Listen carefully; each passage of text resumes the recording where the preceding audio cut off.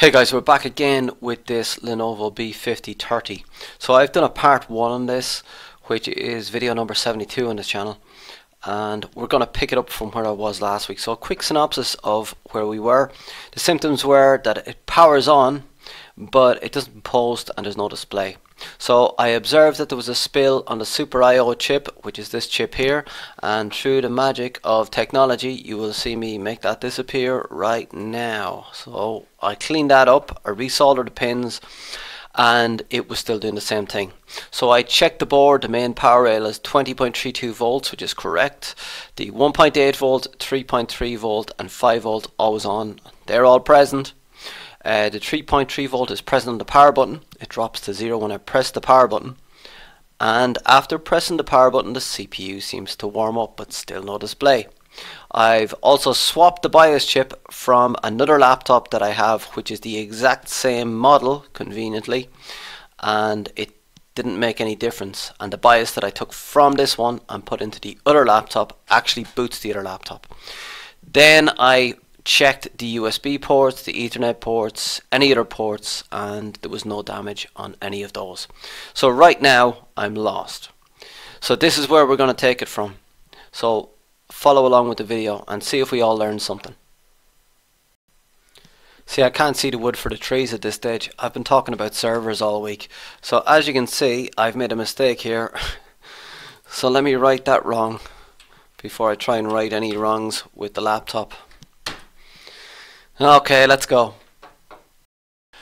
One of the options that I looked at last week was to replace this Super I.O. chip right here. Why would I start with that? Well, this is where the spill was. Okay, so we had a spill across the four pins here. I've cleaned that off now, but there's no guarantee that this IC was not permanently damaged by whatever spilled onto the pins right here.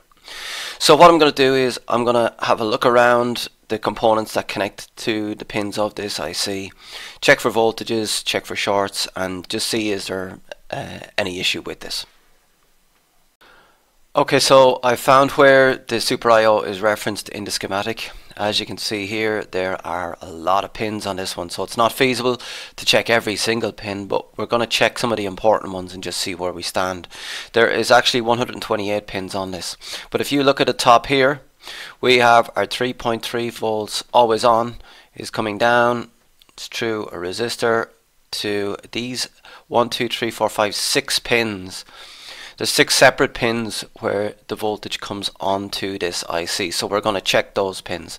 Uh, 125, 111, 96, 33, 22 and 9. So we should be finding 3.3 volts at all of these. The other one that I'm looking at here is there is actually V18R.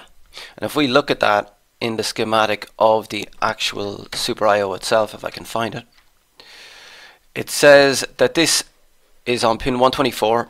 It's connected to an external capacitor for an internal 1.8 volt. So it would be another sign that it's working if this 1.8 volts is being generated also. So the pins that I need to check are well, any one of these pins here, I can check for the input voltage. We know our 3.3 volts always on is good, so I'm expecting to find 3.3 volts here. And we're expecting to find on pin 124 that we have 1.8 volts. So let's check that now. So with my multimeter in the volts DC range, in the 20 volt range, we're going to start taking some measurements. So I'm placing my black probe to ground, which is right here. We're going to start taking some measurements with my red probe. So the first thing we're interested in here is to make sure our 3.3 volts always on is making it as far as our Super I.O. chip. We're pretty much guaranteed on what we've seen that this is the case, but I'm just going to verify it anyway. So we've six pins that this comes in on. They're all joined together. I'm going to check it on pin 125 because it's the most convenient. So if we zoom in here, we can see that pin 128 is here so it's 128, 127, 126, 125. So 125 is here, and as you can see, there's a little track comes up, and I'm going to measure it from right here. So when I measure there, I find on 125 we have 3.3 volts. Now, that makes sure that we're getting the proper input voltage for our IC. Now down here on pin 124, that's where our V18R pin is. It happens to be right beside it. So I can check that here as well. So we have 125 is here, so this is obviously 124. So as you can see, if I zoom in a little further, that comes out here and onto this capacitor which is a far nicer place to measure it. And when I measure there, I find that there is 1.8 volts at that point. So that tells me that the internal, what did they call it again? The connected to external capacitor for internal 1.8. So the internal 1.8 volts is also working. Next I just want to make sure that my Super I.O. chip is receiving the power button signal. So if we look at our schematic again we can see on pin 122 is our power button out. So that's conveniently beside where the other pins are. So all I need to do is count down to number 122. So we know that this is 125 here. So 125, 124, 123 and 122. So this is our power out button here. So I place my probe to this pin and without going near the power button, I measure that there's 1.8 volts there. Now, when I go to my power button and I press and hold the power button, that 1.8 volts goes to 0 volts. When I release the power button again, it goes back to 1.8 volts. So that confirms to me that our power button is working and our power button signal is making it the whole way to pin 122 of our Super I.O. I checked around the rest of the capacitors that are in this area of the Super I.O. chip and I found 1.8 volts on this capacitor here, 3.3 volts on this capacitor here, 3.3 on these and 3.3 on this capacitor here. So the main point about this is I'm not measuring any shorts anywhere around this Super I.O. So I think it's okay. I don't think I need to swap it for the moment. I'm going to move on to checking the rest of our secondary voltage rails and see if they are all online. I've gone back to the input section to start troubleshooting our secondary power rails. So this is the first little circuit I'm going to look at here. Now we do have a schematic here so I can show you what that does. PL602 which is this inductor right here corresponds to this inductor in the schematic. So as you can see this accepts B plus on its input. So B plus as we mentioned earlier is the 20.32 volts. That feeds onto PU602. PU602 is this IC right here. And on the output of PU602, we have 1.0 voltage always on power. So the purpose of this little circuit right here, which I'm going to mark, is to take our 20.32 volts input here and give us our 1.0 volts always on power on the output. So what I can do is I can measure, I'm still in volts DC, I'm getting a ground from our DC jack right here. I measure PL602 and I find that there is 20.32 volts on this as expected. So the next thing to check then is to check is the output of that IC also correct. So where I can measure that is on this big inductor here. So I place my probe to the other side of the inductor and I find that there is 1 volt on this. So the first of our secondary power rails are 1.0 volt always on power is present and working.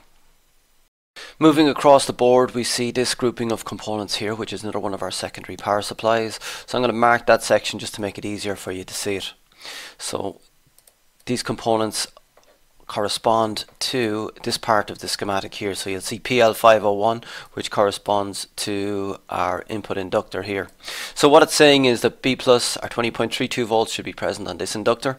That feeds onto a high side low side MOSFET configuration which I presume corresponds to these two here.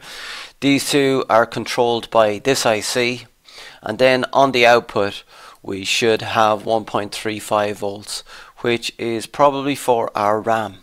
So the first check I can do is I check this input inductor here and I find that there is 20.32 volts on this. And then on the output which is this inductor right here PL502 we find that there is 1.39 volts. So that corresponds to our 1.35 volts. It's a little bit bigger but that's fine. So this circuit is also working I've moved down on the board and we're going to look at this section right here again. So if we search the schematic for PJ601 I find that that's here and I'm just going to mark out again that little section of the board. So we've got this section here and I'm going to mark that out because I think it helps when you take it in smaller sections because if you zoom out on the board it can make it look like it's you know this mass of components that have no association with each other. But when you break it down and just mark off the different sections like I've done here it can make it a bit more manageable. So this is the section we're speaking about here. These components correspond to the components here. So on PJ 601 which is this it's not a component it's just a jumper right here. We should have 3.3 volts always on. Once again measuring in volts DC I take a measurement here and I find that there is 3.3 volts at this section which is correct. So what we need to know is is this chip giving us our 1.8 volts always on power on the output. And we can measure that output on PL601 so PL601 is this component here. So I place my probe to the other side of that and I measure there and I find that there's 1.8 volts there. So that section is good too. This is our processor right here. And if I move down you'll see that there is two inductors and I think these are the two inductors that carry the power for this processor right here. But let's mark out the section that we're describing. So the main IC involved in this is PU901 and if I go down through my schematic I find PU901 now looking a bit closer at PU901 that has like phase lower gate upper gate lower gate phase upper gate. So this IC controls two dual MOSFETs, this one and this one. Now they're actually on the other side of the board, but the important thing here is the output of those two dual MOS MOSFETs are, the top one is PL902 and the bottom one here, PQ902, the output is on PL903. So all we need to do is just measure and see if those voltages are present. So again with my black probe on ground. I place my red probe to PL902 first and I find on PL902 that we have where is it? We have 0.82 volts. Now that is marked as being where the PL902 plus SOC underscore VNN and when I look that up in the voltage rails it describes that as GFX for SOC. The PL903 when I measure there I find that there is 0.917 volts on this. And that corresponds to this one here PL90 sorry, not PL901, it corresponds to PL903, which is described as SOC underscore VCC. And when I look that up on my voltage rails in the schematic, that's described as the core voltage for SOC. Now, I'm not 100% what these are meant to be because it just describes these by uh, I'll show you. Describes them by name, but it doesn't for some reason tell you what they should be. Do these vary or what is it? I'm not sure, but it would be so much more useful for me to have the actual values so I could compare them.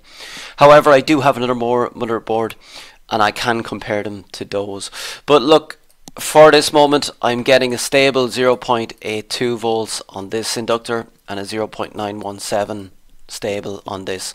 So for the moment, I'm going to presume that they're correct.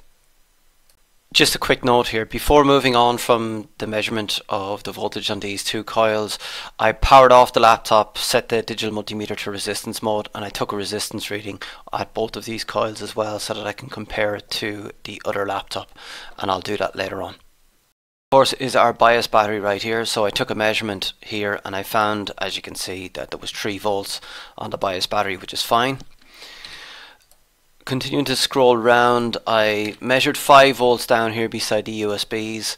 And one thing I wanted to try was to plug something into these to make sure that they were, you know, not damaged. I took a good look at them and it didn't look like they were damaged. But with this laptop pressed on and seemingly powering on, I plugged in two USB devices and they powered on fine. So there's no issue with the power to these. So working my way up again we see you see we're back to where we were last week. These are the 3.3 volt and 5 volt always on. I've confirmed that these are working already from last week's video. So at this point you can see what I'm trying to do with measuring all the secondary power rails. So what I decided to do was given that I wasn't seeing anything wrong here I decided to get that table from earlier on and just mark in every single voltage. It's a bit painstaking but that's what I decided to do. So I'm going to show you the chart and the list of all of the voltages of what they're meant to be and the list of all of the voltages that I took from this board. So this is the full list of voltages on this board. I've got this from the schematic as well. So as you can see, anything I've marked in yellow is all good and I've just written down where I actually measured them. Uh, which component just in case I need to go back to it. Now obviously there's no battery came with this so I can't measure the battery voltage that shouldn't be a big deal it should work everything should work fine on just a power adapter with the battery plugged out. The two that were a bit ambiguous were the two inductors that I pointed out earlier on because it didn't actually give me a value for these and I've written in here the values that I measured. So I measured 0.917 volts at PL903 and I measured 0.82 volts at PL902. But as you can see every other power rail was perfect. Okay, I mentioned already that I repaired one of these Lenovo B5030s a couple of videos back. It had a big uh, short on the main power rail. Once I removed that, I then had a working motherboard. So I'm able to compare the values from that to this board. It's exactly the same. So we don't have to compare any of the ones in yellow because they are all as they should be. They've all measured exactly as they should be. So the only two that I'm a bit ambiguous about are these two here. We weren't given numeric values, so I'm going to compare these to the working laptop. So the measurement at PL902, this inductor right here, I was measuring 0.82 volts on the non-working laptop. And when I powered it off, I took a resistance measurement and I measured 30.8 ohms. On my working laptop, I measured 0.8 volts, very, very stable. And when I powered it off and checked the resistance reading, it was approximately the same. It was 30 ohms.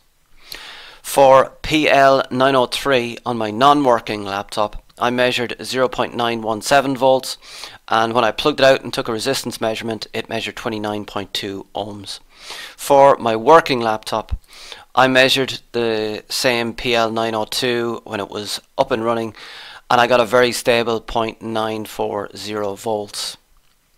When I plugged it out and took a resistance measurement, it measured 24 ohms. So I think that there is something wrong with the CPU on this laptop.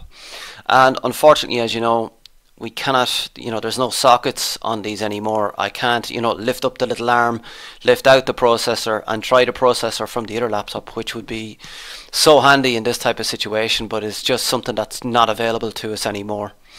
Um, and because it's such a job to remove this, that basically is the end of life for this motherboard. So that's where I'm going to leave this one. As you can see, I've put a lot of work into taking down all the measurements for this. It's pretty painstaking, but I guess you got to serve your hours to try and learn something with this type of motherboard. Um, if you've got any suggestions or any other way that I could take this, please write it in the comments below. But unfortunately, that is the end of life for this laptop motherboard at this present moment. Please like and subscribe and I'll be back with something interesting. Oh, my multimeter's dying. I'll just let it have its moment there. I'll be back with something hopefully better and more interesting next week. Please like and subscribe and post any comments that you have down below because I'm always interested to hear what you guys have to say. Thanks.